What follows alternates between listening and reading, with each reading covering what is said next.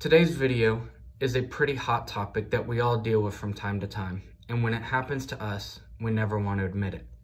So let's jump right in. Are you struggling financially right now? If you are, you're unfortunately in very good company. Did you know that even before the pandemic, 8 out of 10 Americans were living paycheck to paycheck?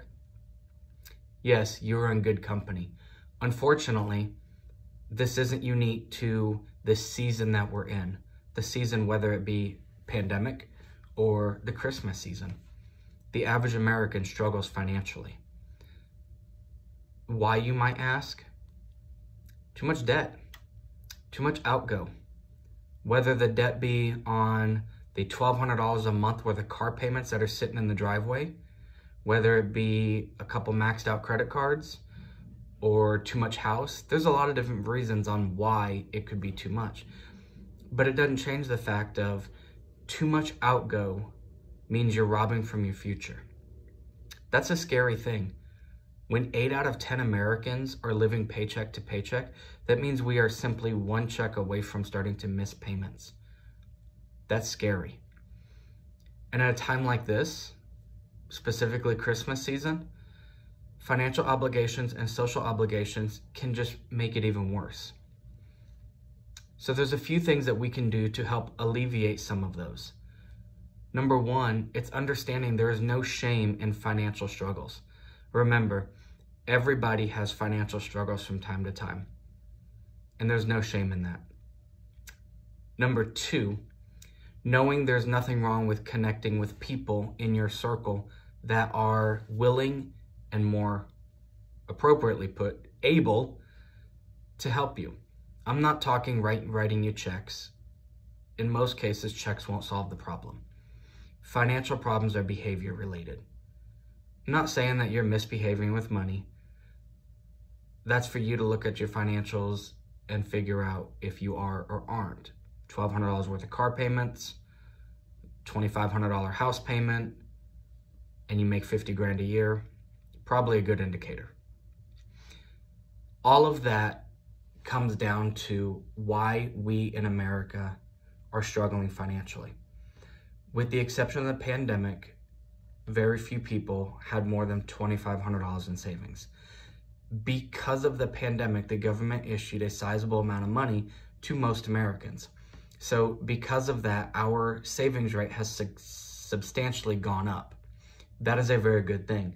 We need to make that a part of our normal lives if you have more savings and less debt, you won't feel pressured right now. The next part is understanding the priorities in order to get things paid. Number one, it's food. Don't buy anything before you buy food. I'm not saying go spend 1200 bucks a month on food either. Keep it keep it reasonable with your family size. But you have to have food on the table.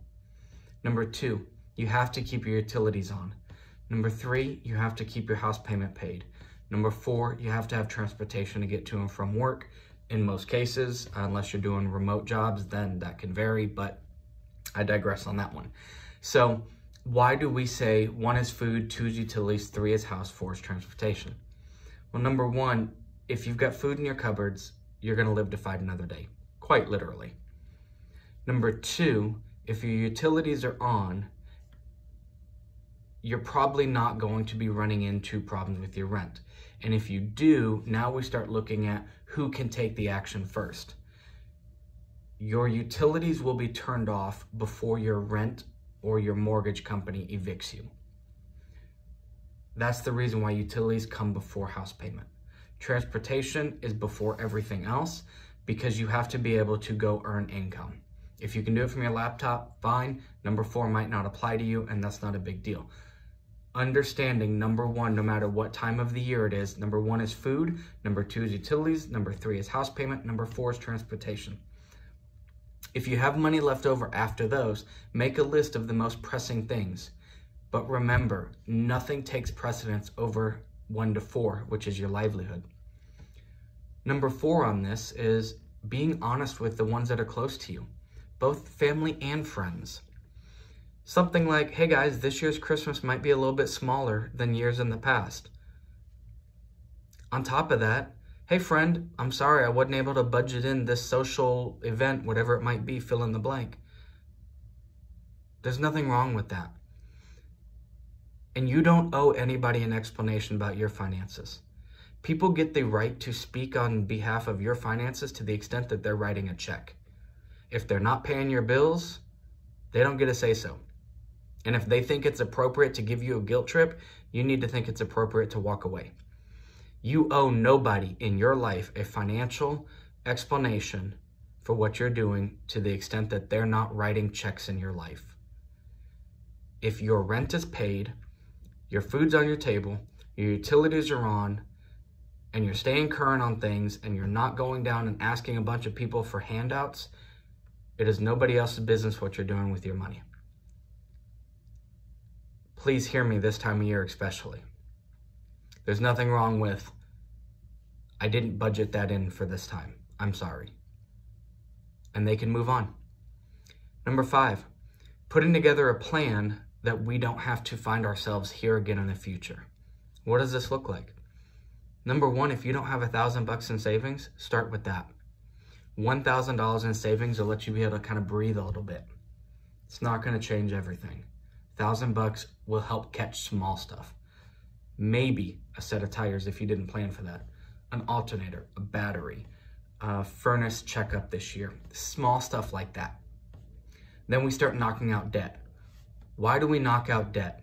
Everybody seems to think debt is such a good thing in this country. It is not.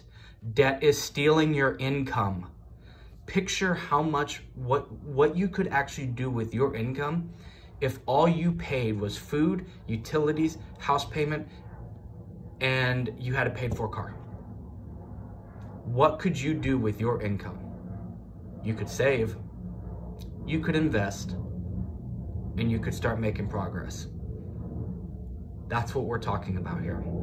We're talking about taking control of your finances so you get to decide what you do with your finances. There's nothing wrong with that at all. Number one, we start with a thousand bucks in savings.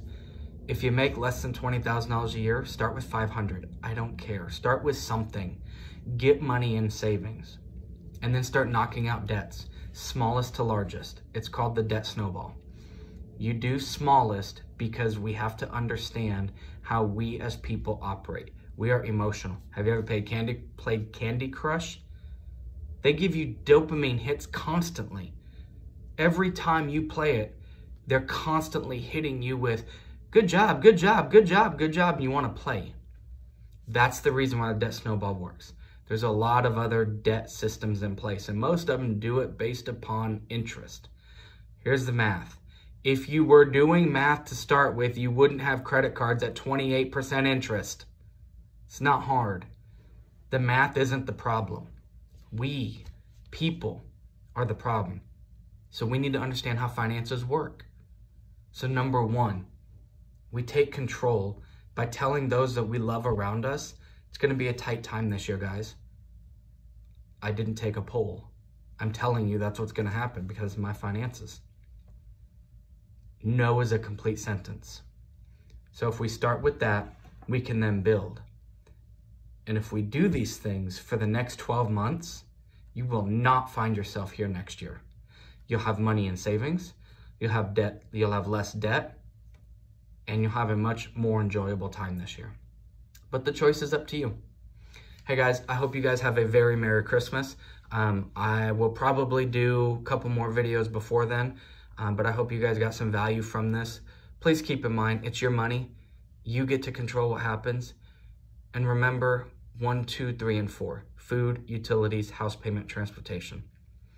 I hope you guys are able to do great things this year, whether it's with money or without money, but spend time with your families. I hope you guys have a great season.